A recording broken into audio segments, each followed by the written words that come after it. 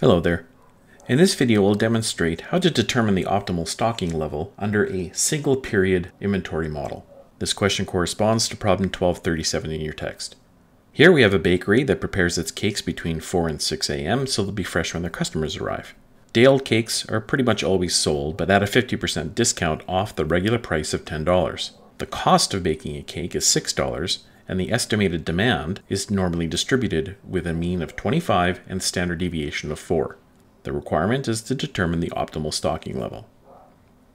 If we list our variables in the problem, to be used with a single period inventory model, we have the cost of a shortage, which is simply the selling price minus the variable cost of making the cake, which is $10 minus $6 or $4. In accounting, we also call that contribution margin. And then we also have the cost of overage, which basically is the $6 cost minus the salvage value, the discounted selling price of $5. So the cost of overage is a dollar per cake.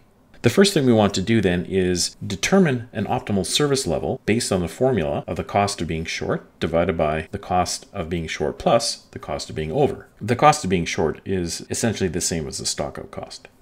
In our formula, the cost of shortage is $4 and we divide that by the cost of shortage plus the cost of overage of $4 plus 1 or $5. So $4 over $5 works out to 0.80.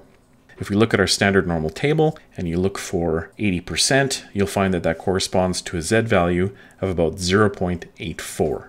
If we draw what this looks like visually with a standard normal curve and a mean of 25 and 80% service level corresponds to a Z value of 0.84, and if we take 0.84 times the standard deviation of 4, that determines that the safety stock would be 3.36 units or 4, because you can't have a partial cake.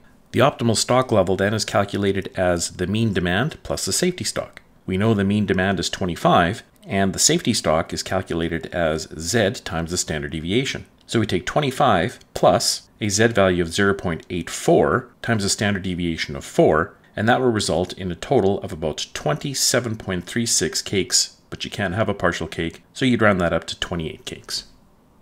So the number of cakes, which would result in a 80% service level, is a total of 28, which is therefore the optimal stock, which is comprised of the mean demand of 25 cakes plus 4 cakes of safety stock.